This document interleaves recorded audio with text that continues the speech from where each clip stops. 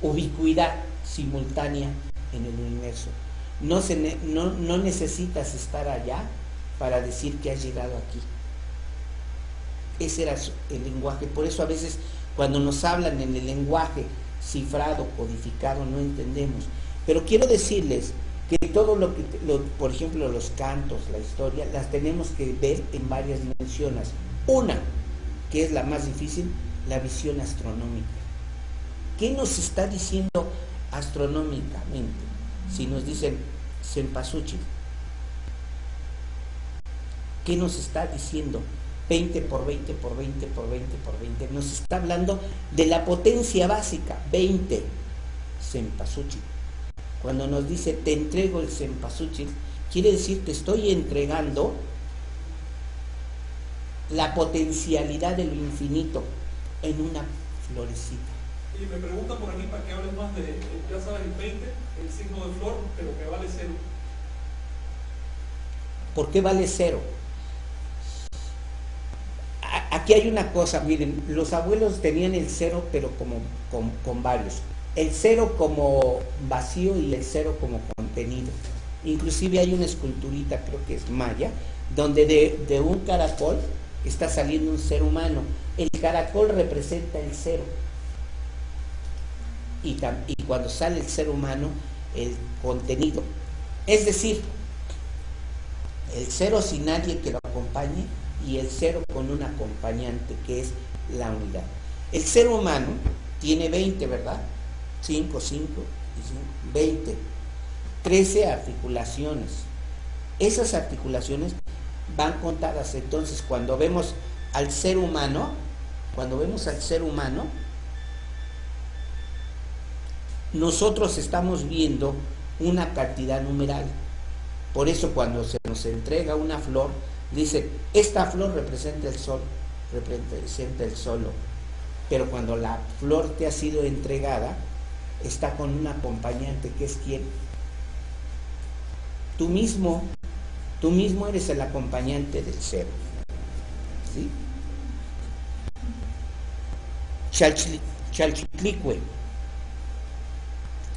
La de la falda de las piedras preciosas, aguas terrestres, manantiales, ríos y mar, lagunas, Matlacuelle, la de la falda azul, señora de las aguas, de la lluvia, de la magia y de los presagios. Entonces, ustedes la ven, ustedes ven ahí las onditas del agua que está llegando a hacer espuma, ¿sí? En esta base. Luego ven allá arriba la bolita de copal, o sea, el copal representa la blancura, la vía láctea, la oración que se transforma en nuestros pensamientos son el copal. Y entonces ella, a través del sacrificio, también nos está señalando con estos huesos que ella es su propia sangre, es su propia sangre convertida en agua, lo que tiene en la mano izquierda. Eso. Pero también representa los cuatro rumbos el nahual. nahual. Está representando en su mano izquierda la fuerza femenina, la fuerza del espíritu. Ese es el, poder que tiene. Entonces, cuando nosotros vemos eh, que una divinidad va a representar, por un lado, a Chalchitlicue y otra a Matlacuelle, ¿por qué? Que está representando todo lo femenino, el agua. Y el agua, hay una cosa, ¿Ustedes creen que apareció en la Tierra? ¿O fue traída de otro lugar del cosmos? Si estaba hirviendo el planeta, ¿cómo iba a haber agua? ¿Cómo? Había un... Era tan caliente que no podía haber agua. ¿Y de dónde salió? Entonces ellos cuentan que precisamente Matlacuelle trajo el agua. Entonces, pues Matlacuelle pudo ser una lluvia de meteoritos que trajo partículas de agua a la tierra y que era su propia sangre, la sangre del universo. Por eso dicen, ella viene de Tamuanchán, el lugar de los dioses, es madre de los dioses y está aquí y trae el agua, porque el agua es la esencia de Chalchitlico y Matlacuelle, o sea, con diferentes, aparecen ser diferentes advocaciones y sin embargo es la misma.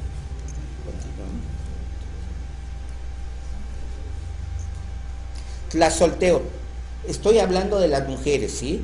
La superación de las faltas es la guía del goce y conocimiento sexual, la fertilidad agraria. Ya llegó nuestra madre Tlazolteo, nació Centeot en Tamuanchán. Centeot es la semilla originaria, primaria. Por eso, y Centeot es, por un lado, significa unidad divina, pero también significa el esperma que viene del universo. Ese esperma que está en la semilla de maíz, la que nos da carne, la que nos da sangre. Pero ¿quién? Pero ¿quién la trajo? Nuestra bendita señora que viene andando de Tamanchán, aquella que en su vuelo celeste ha llegado aquí a darnos a centeo, el maíz tierno. Entonces cuando nos dan maíz transgénico, pues como que no es centeo, ¿verdad?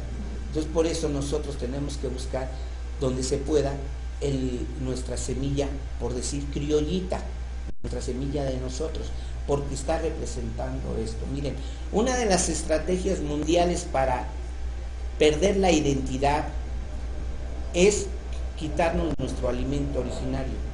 Entonces a los pueblos les van quitando su alimento y entonces les van dando eh, alimento de cadenas internacionales. Y entonces ustedes ven que un niño ahora ya en lugar de pedir un taco, pide una hamburguesa con tal marca. Ya, no, ya estamos perdiendo la noción de la naturaleza. Compramos, eh, dice,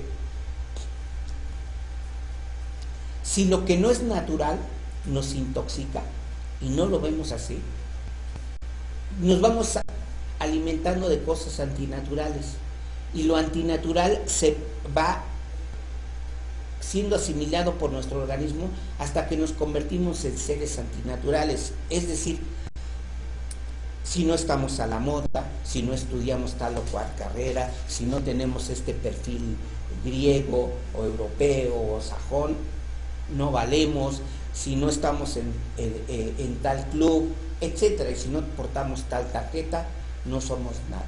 Entonces. ¿Tiene apellido latino en nuestro gobierno? No. Eh, ¿tiene? Apellido latino no siempre. No, no. ¿Es alemán? Alemán, sí. Ah, entonces, entonces, eh, se va perdiendo la identidad y se va perdiendo el arraigo a lo que podríamos decir a nuestros pueblos. Y entonces nos avergonzamos de nuestra lengua, nos avergonzamos de nuestro color, nos avergonzamos de nuestra historia. Y, y- y nos vamos a otros pueblos a copiar. Si nosotros supiéramos que nuestra historia, imagínense qué pueblo ha contado tantos, tantos cuatrillones de años como nuestro pueblo, no existe ningún pueblo que haya contado la historia de la humanidad en cuatrillones de años.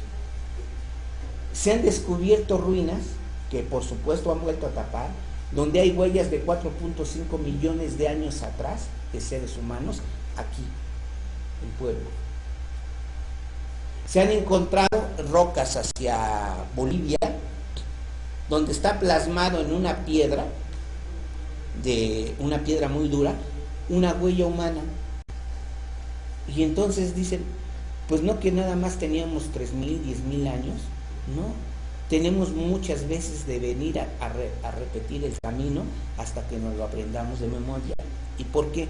Hemos hecho nuestro camino artificial. E- Era muy bonito ahorita, este, Fran, lo que estaba hablando de Carlos Castañeda, de desmistificar, desfanatizar, porque de repente hay gente que vuela, lee tres, cuatro libros de Castañeda y ustedes ya los ven que llegan y se paran a la puerta haciendo pases chamánicos y, y- y- luego quieren irle a enseñar a los huicholes cómo hacer pasos chamánicos porque ya aprendieron. Entonces la gente de los pueblos saben qué hacen. Tú quieres enseñar, pues enseña, no me afecta. ¿Quiere? ¿Sí? Entonces, no, nos traen en el sentido estricto religiones.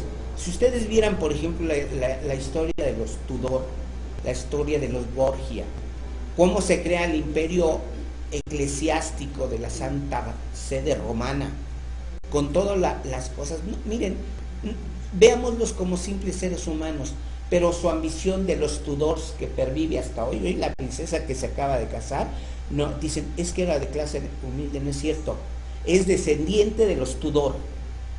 Y los Borgia vinieron aquí, llegaron a, a América.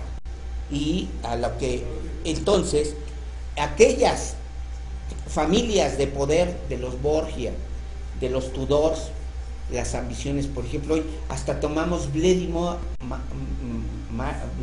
Mary, ¿cómo le dicen? Bloody Mary. Bloody Mary, sí, pues es que el Spinglish no se me da. Eh, el Bloody Mary, ¿quién era? Una fanática descendiente también de los Tudor de la Iglesia Católica que mata miles de protestantes en la Inglaterra de aquellos tiempos, que, que ellos estaban acostumbrados a matar por ambición.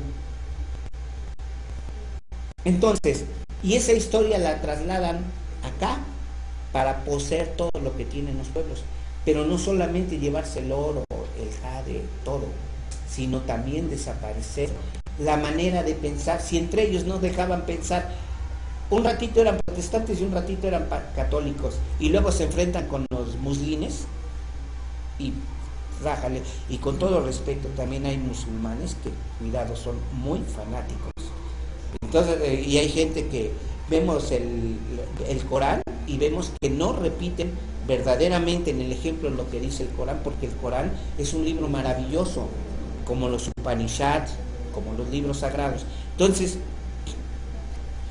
lo que hacemos es captar una cultura, traerla, y como no queremos ver nuestra cultura en su maravilla, lo que hacemos al tomar otra cultura, estamos tomando otra identidad. Entonces tomamos religión, alimento, educación que no nos pertenece. Y entonces decimos, pero es que ni en Gringolandia nos quieren, no, no nos quieren en ningún lado, porque no somos idénticos y porque somos eh, muy acomodaticios. Tratamos de imitarlos, no, mejor que nos imiten a nosotros. Dicen que primero en tiempo, primero en derecho. Entonces nuestra historia cuenta billones de cuatrillones de años, pues tengo más edad que tú, soy mayorcito. Pero eso de que vengas a dirigirme, a civilizarme, porque tú crees que eres mayor que yo, no. Y en, en el último de los casos somos seres humanos y somos igualitos, pero no superiores. Entonces, una de las cosas que no tenía la cultura ancestral era evangelizar Tú eras libre de experimentar y a través de experimentar llegabas a una verdad trascendente y esa verdad trascendente convergía, pero no era obligatorio. Los mexicas cuando iban por todo el continente traían que captaban las diferentes representaciones de la divinidad y había un templo especial, por ejemplo, aquí en Tenochtitlan para esas divinidades y se les y tenían sacerdotes que cuidaban de esas divinidades. O sea, que de alguna manera éramos respetuosos de las otras y entendíamos inclusive el, este, uno de los libros sagrados decía que los posteca tenían que ir a los diferentes lugares, aprender la lengua, aprender su cosmovisión, su religión, y traerla y enseñarla. Pero no decían, uy, no, ¿Qué están diciendo ellos? ¿Dónde converge? ¿Por qué? Y entonces conformaban, eh, no es un secretismo, sino la reunificación de todo, algunas partes que hubieran olvidado por alguna razón. Entonces, obviamente, es una visión diferente, pero comentemos. Tú me dices, este, bueno, Centeo bien, ah, pues aquí tenemos. Centeo viene de Zen, uno, unidad. Teo, Dios, su esencia. Aquí se